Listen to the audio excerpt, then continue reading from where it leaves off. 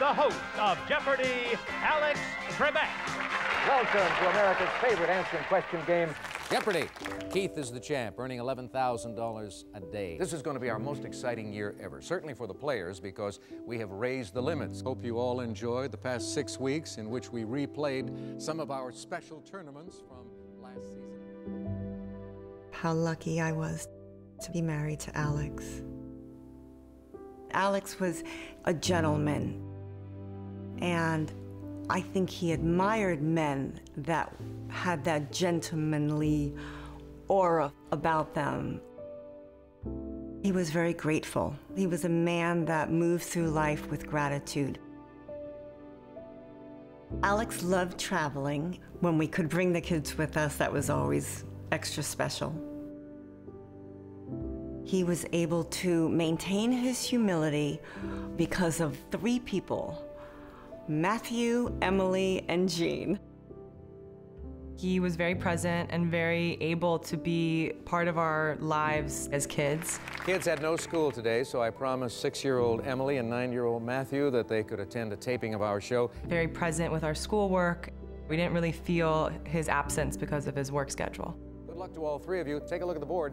Here comes the Jeopardy round. The dollar figures first. If he wasn't at work, he would be home in a pair of jeans, a t-shirt, a baseball hat. He was a very normal, very normal guy. He loved fixing things around the house.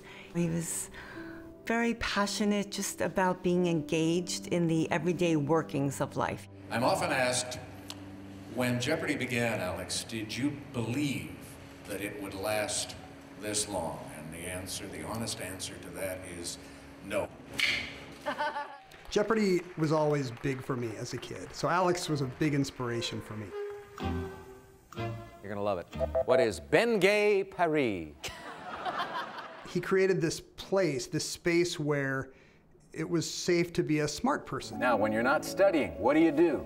I watch Jeopardy. Oh, all right. We have a winner. He loved that it was a quiz show that promoted knowledge and intelligence. He was so good at it, so graceful, so perfect for the role, that we all thought the job was easy. And it's not. Hosting Jeopardy is incredibly hard. Pick up your signaling device. Let's go to work. The Jeopardy round. Libreville. Libreville is the capital of Gabon. Hey, you ran the category. Way to go. Don't call it a comeback. I've been here for years, rocking my peers and putting suckers in fear. Mama said, knock you out. I loved that he was focused. He was a very focused man. Who's LL Cool J? That was such a quality that allowed him to be very successful. You've arrived when you are featured on fingernails as polished. It's full nerd. I think he enjoyed being a bit of a ham.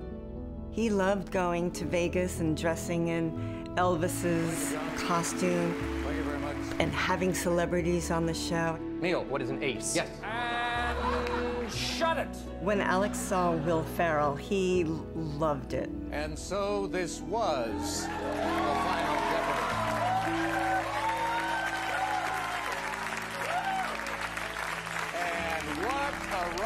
it has been. Hi, everyone. I have some news to share with all of you. When Alex was diagnosed, we were together in, in the office of the oncologist, and we had never thought in a million years it was stage four pancreatic cancer. I'm going to fight this, and I'm going to keep working. And with the love and support of my family and friends, and with the help of your prayers also, I plan to beat the low survival rate statistics for this disease. People were shocked, and right away they were sending so many notes, so many emails, so many sweet gifts. Jeopardy was uh, such an important thing in his life, you know, that no matter how he was feeling, no matter how rough the treatments were, he could come in here and he would still be Alex Trebek. Producers would offer, we could delay taping, we could cancel taping. Alex wouldn't dream of it. Alex would go back in the dressing room in a state that no one would think someone could come out and host Jeopardy. And yet the director would get on and announce, you know, all crew to headset. And We'd all get to our positions, and sure enough, Alex would come out as if nothing had happened. You wouldn't even know the pain and suffering that he was going through. Let's take a look at your response. Did you come up with the right one? No? What is we love you Alex? That's very kind. Thank you. Cost you 1995. You're left with five bucks. Okay. I think the whole country was thinking exactly what that contestant wrote. They caught Alex Trebek with his heart open and, and a tear in his eye. I remember asking him in the car, driving, you know, to and from the, the chemo appointments, and I said to him, Would you do anything differently? And he said, Jean, I've I'm 80 years old. I've lived the most amazing life. And I thought, wow, that's really beautiful. And I strive to live like that.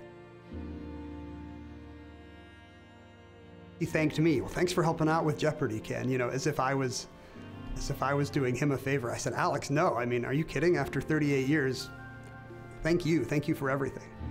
I wish I'd said it more. I think about him every time I'm out there on the Alex Trebek stage. You know, sharing this stage with Alex Trebek was one of the greatest honors of my life.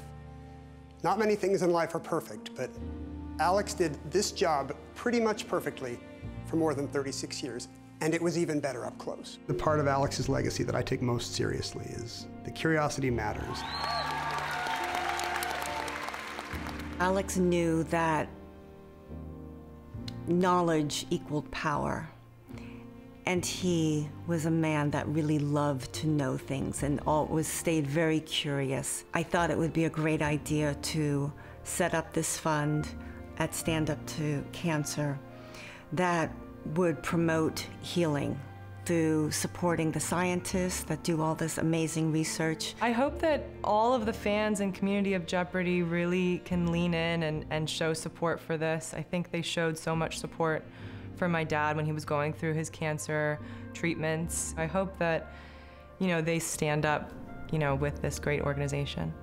And since he was all about the right answer, I think it's very fitting that this fund is now established in his name, and hopefully it will benefit thousands and thousands of people. Thank you.